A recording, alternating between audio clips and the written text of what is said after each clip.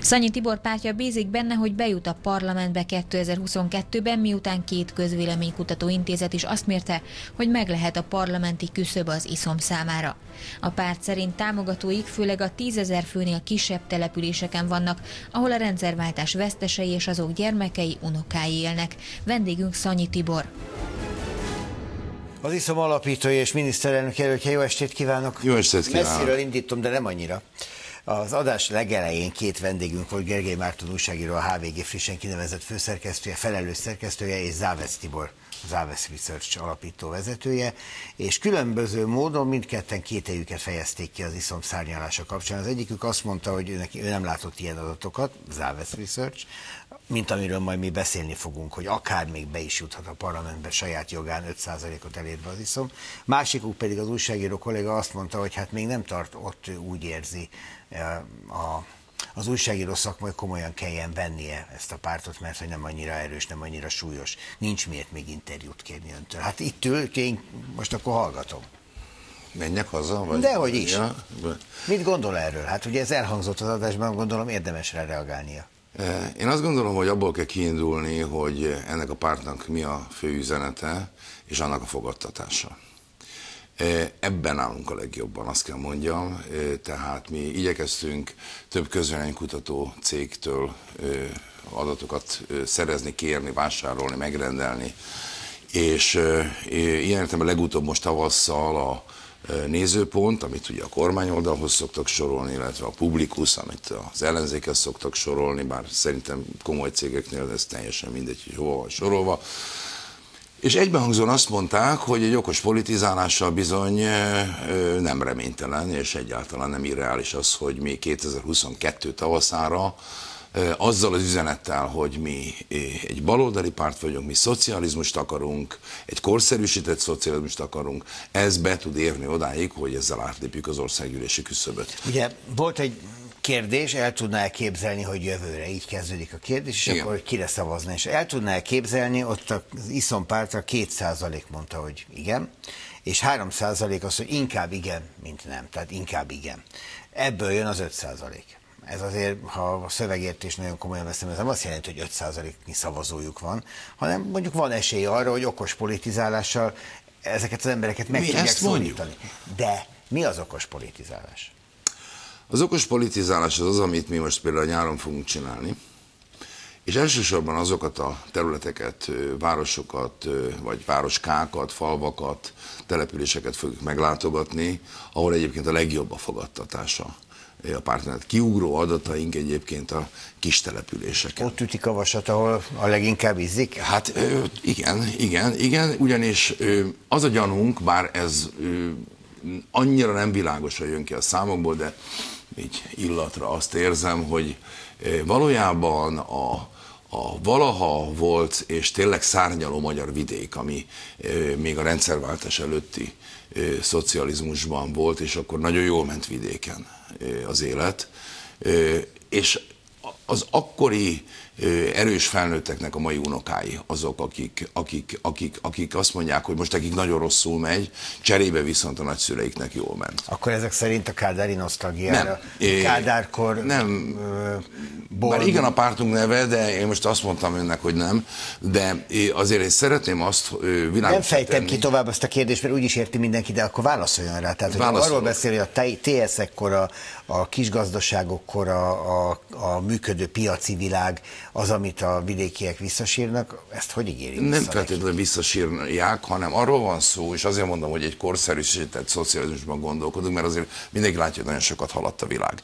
De például azok, akik ma a mezőgazdaság környékén élnek Magyarországon, azok piszok jól tudják, hogy a holland, a spanyol és az olasz mezőgazdaságnak, még a francia mezőgazdaságnak a sikere egyértelműen a szövetkezeti típusú gazdálkodáson múlott, és van. Tehát ö, ö, nyilván senki nem akarja a proletár diktatúrát. Az egy félre csúszott, nagyon csúnya dolog volt. De szocializmust igen. Tehát egy egyenlőségbázisú történetet, ahol tényleg van szolidaritás az emberek között, az nagyon is. És ezt hirdeti a mi pártunk, hogy igen, van egy ilyen alternatíva. És erre bizony van egy komoly fogadókészség, elsősorban, mint mondottam, a kis települések világában, és Székely Sándor egyébként az országgyűlési képviselőnk, az most június 15-én nyakába veszi. Ő személyesen egyébként ő lesz a főgyaloglónk, szó szerint körbe járja az országot, és, és próbálunk azokkal az emberekkel minél többel találkozni, akik egyébként nekünk a potenciális szavazóink. Ahhoz, hogy 5%-uk legyen, az jelöltek is kellenek. Mennyi van?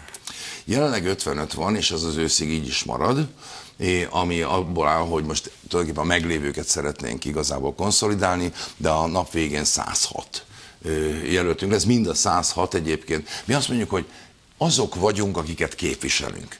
Buszsofőrök, ápolók, kertészek, egyetemisták. Ilyen emberekből állnak a jelöltjeink, és én, tehát nem, nem olyanokból, akik piszkosul ráérnek, mert valamelyik párt fizeti őket, mi nem tudunk fizetni, mi a templom megere pártja vagyunk, viszont lelkesedésből annál többen jönnek hozzánk, és nekem ez borzasztó nagy pozitív értelmevet csalódás, hogy emberek igen, a, semmi bázisán is hajlandók fölvenni tulajdonképpen azt az igényt, azt a gondolatot, amit mi szocializmusnak nevezünk. Záves Tibor is elismerte azt, hogy könnyen beleszólhatnak a végeredménybe, hogyha az annyira szoros, mint ahogy most mérik az ellenzék és a kormányoldal közötti különbség minimális léti, tehát 1 százalékra, meg 3 százalékra beszélnek a kutatók, attól függ, melyik kutatást nézzük. És hogyha ott vannak és visznek x számú szavazatot, ez igenis jelenthet valamit.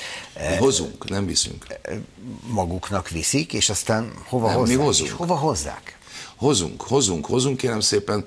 Hát a Magyarország gyűlésben egyszerűen azt szeretnénk, hogy lenne egy igazi baloldali frakció, amelyik egyébként hallatja azt a hangot, amit mi képviselünk. Például a 250 ezer forintos nettó minimálbérnek a, a, a, az alapvető igényét, mert Magyarországon ebből lehet élni ma. Hát az ellenzéki pártok ezt nem ígérik, de minimálbéremelést igen, szemben a, a kormányon, amelyik szerint ez a mostani állapot, ez viszonylag ideálisnak mondható. Az Mondhatom azt, hogy az ellenzéki pártok krokodilkönnyeket hullajtanak minden létező másért, mint a dolgozókért. Mi azt mondjuk, hogy legalább akkor a szimpátia övezze a dolgozók sorsát, mint ahogy a munkaadók sorsát szokta övezni az ellenzéki és a kormánypártok együttesében, mert mindenki a munkaadóknak az érdekeit nézi, mi a munkavállalók érdekeit nézzük. Hát ez egy... Ha elképzeljük egy parlamenti patkót, és önnek az összes álma bejön, és 5%-a van az iszomnak, akkor hol ülnek, melyik oldalon? Nagy valószínűséggel ellenzéki oldalon, és ezt azért bátorkodom. a fidesz hogyha nem, úgy alakul? Nem, nem, nem, nem fog úgy alakulni. Mostani ellenzék oldalán? Én azt gondolom, hogy potenciálitását tekintve, hogy a programokat nézzük, mind a Fidesz, programjával mi szemben vagyunk, ez, ez egyértelmű, de ugyanakkor mi semmi támogatót nem látunk, ez egyébként nem létező ellenzéki programban sem, majd hogyha lesz programjuk, akkor talán, de egyelőre az egyes megnyilatkozások, például az, hogy szembe mennek a 250 ezer forintos nettó minimál jövedelemmel, vagy minimálbérrel, mi azért ezt nem annyira tudjuk. Ez nem is tárgyalás képes az önök fejében? Tehát, hogyha valaki ezt nem fogadja el kapásból, akkor se ülnek vele? Nézze, az a 250 ezer forint, mint minimálbér, ez az egy dolgozóra vetített GDP egy hatoda. Tehát, hogyha nekünk valaki azt akarja mondani, bármilyen matematika mentén, hogy az emberek által megtermelt pénzből legalább egy hatodot ne adjunk oda a dolgozónak, mi arra azt mondjuk, hogy erről nem tudunk tárgyalni.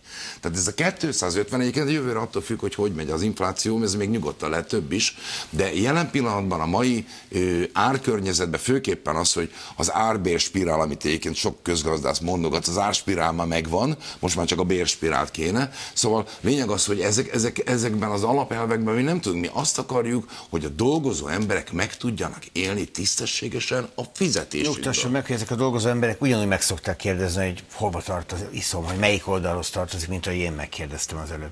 Én nem tudom, milyen lesz a 2022-es patkó. Hogyha, most én nem akarok a mások dolgaiba beleavatkozni, de hát én azt látom, hogy a DK és a Jobbik az most összeállt, és kvázi mindent fog tarolni előválasztás nélkül is.